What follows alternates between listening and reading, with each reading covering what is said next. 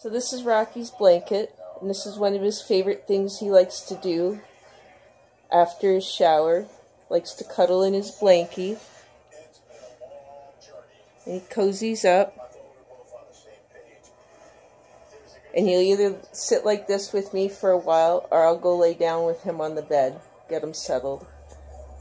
And he'll be out for like sometimes two, three weeks or if he's got to go to the bathroom or he decides he's hungry. Believe it or not, he lets us know he wants back in his house. Because you're a smart boy that way.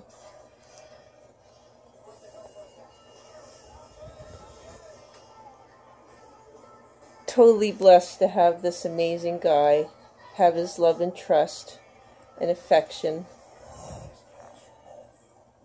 He does funny things that's you, buddy. I hope you enjoyed the video, and I hope this answers some questions on how I shower my snapping turtle.